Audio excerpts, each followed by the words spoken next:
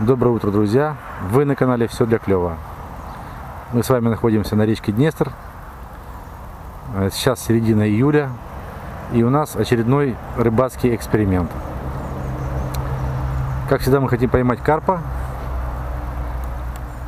И будем ловить на такую кормушку. Кормушка от фирмы Потап э, с таким небольшим отводом. И хочу с вами поделиться информацией о преимуществах этой кормушки перед другими. В кормушке нет контакта свинца с водой.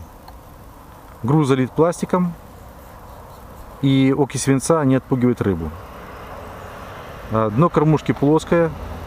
Это позволяет при ускоренной подмотке быстро поднять кормушку на поверхность и исключает зацепы на закоряги и уступы на дне.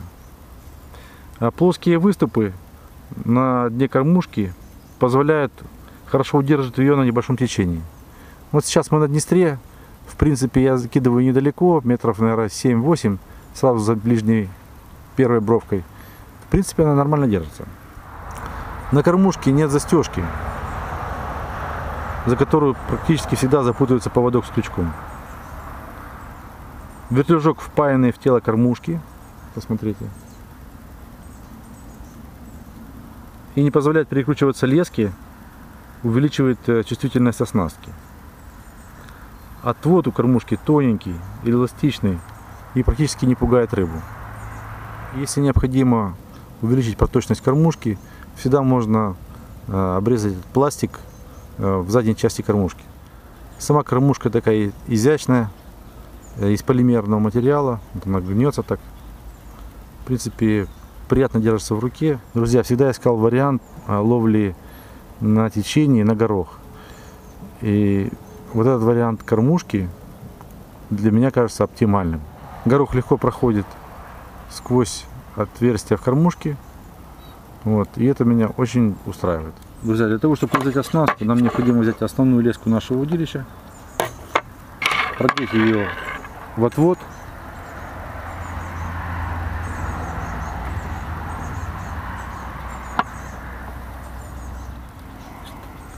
К лески привязать вертлюжок.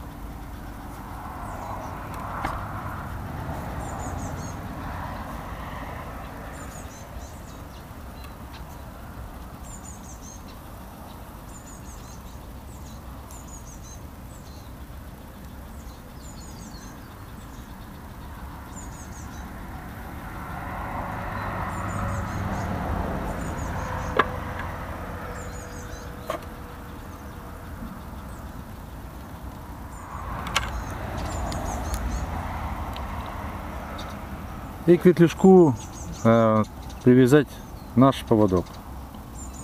Крючок. И с этой стороны петелечка вот наша.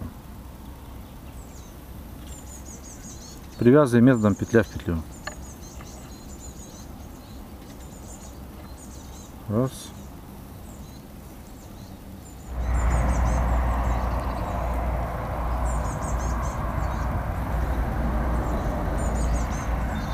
Все, снасть у нас готова.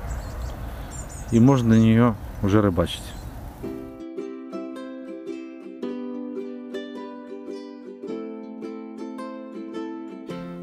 Первой попробовала наш горох тарань средних размеров. Но только я успел положить ее в садок, как последовала мощная карповая поклевка.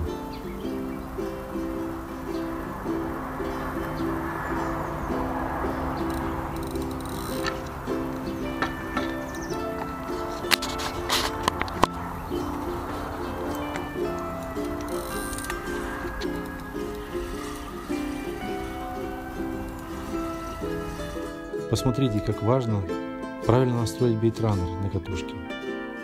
Если оставить шпулю катушки полностью затянутой, то возможно два исхода событий. Первый – ваше удилище окажется в воде, а второй – это разогнутый крючок или обрыв поводка из-за сильного рывка рыбы. Но каждый раз крутить фрикцион, то расслабляя его, то затягивая не очень хочется, поэтому спасибо человеку, который придумал систему бейтранер. А это наш первый карпик. Кстати говоря, всех карпиков, которых мы ловили были от 800 грамм до полутора килограмм.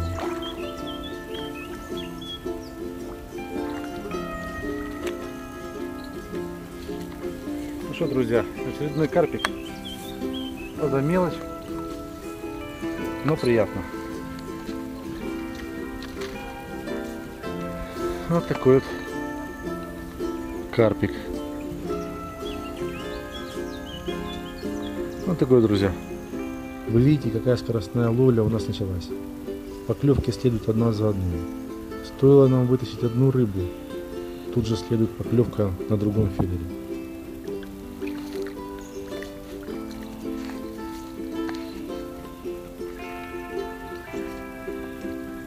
Друзья, очередной карасик. Вот такой.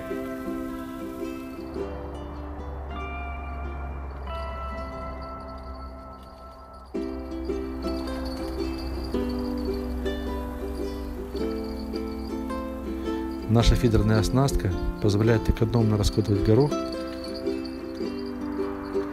Это дает нам возможность немного увеличить время между перезарядками кормушек.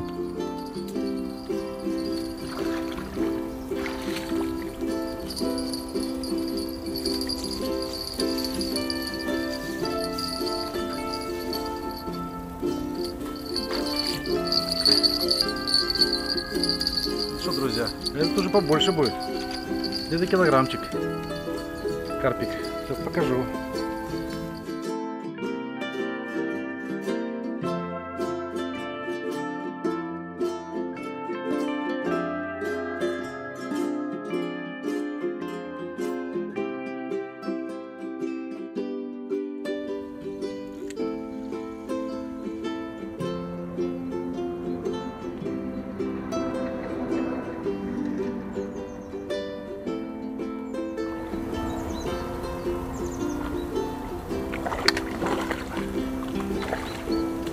Так, друзья, ну что, ж, очередной карпик. Это не может не радовать. Вот, друзья, наш карпик на горох, на нашу кормушечку от Потапа. Вот она. Работает. И это очень радует. Казалось бы, да? Вот тарань клюет, слушайте, такая крупная.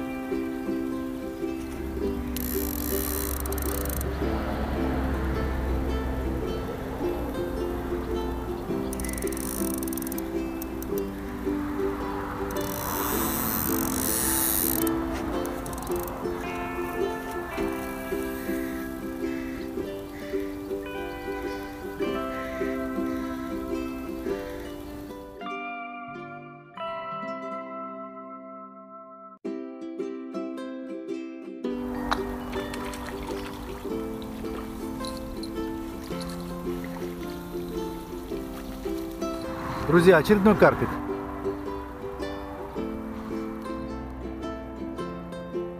Так, друзья, как я набиваю кормушку? Я ложу сначала немного гороха и так немножко придавливаю, распираю его чуть-чуть. Это нужно сделать для того, чтобы при полете кормушки э, горох не, не разбрасывался. Все, и потом ее чуть еще добавляю и еще чуть-чуть прижимаю, буквально немножко. Все. Значит, поводочек у меня тоненький 0,19. Крючок Камакацу F22 12 номера. Вот такой вот маленький крючок. И горох я одеваю следующим образом. Я его протыкаю через две половинки, ну вот так, э, на стыке, чуть-чуть буквально. У меня держится вот так вот. Видно, надеюсь.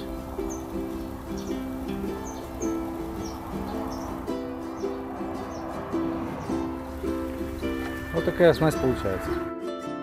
Расстояние между перегородками в кормушке позволяет высыпаться гороху постепенно, держа рыбу в нужном нам месте.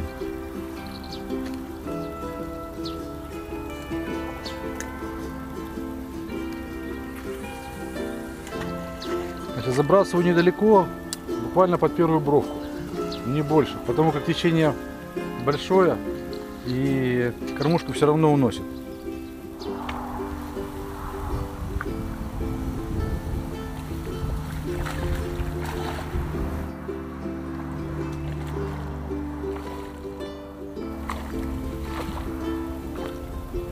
Друзья, очередной карпик.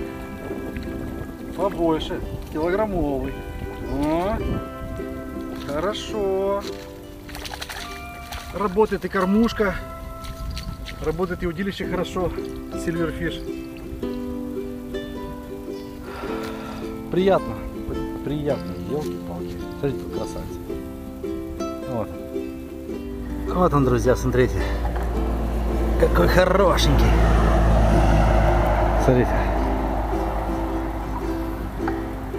Бомба.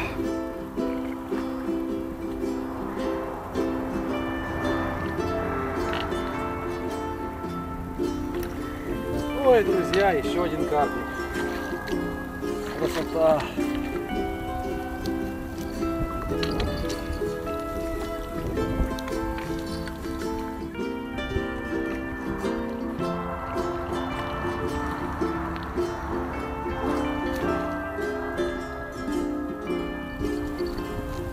Вот он, друзья, смотрите.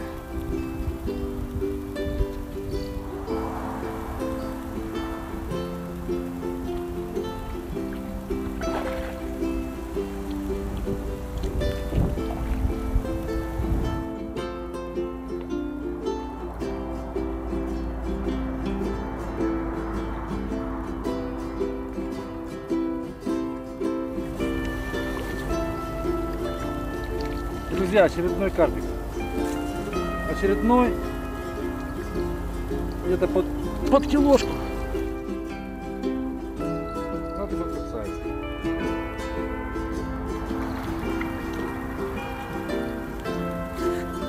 Друзья, тарань просто поражает меня своей величиной.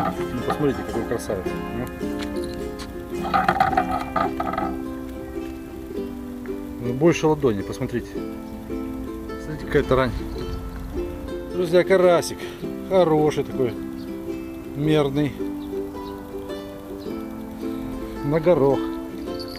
За очень короткое время на ваших глазах мы уловили много разных. Красавец. Выбор насадки и оснастки был очень удачный. Рыба ловилась легко и быстро. Многие рыболовы жалуются, что на дистре стало мало рыбы. Мы постарались показать вам, что правильное использование нашей снасти и способа ловли приводит к хорошему результату. Мы не ставили себе задачу выловить всю рыбу, а хотели получить результат за короткое время.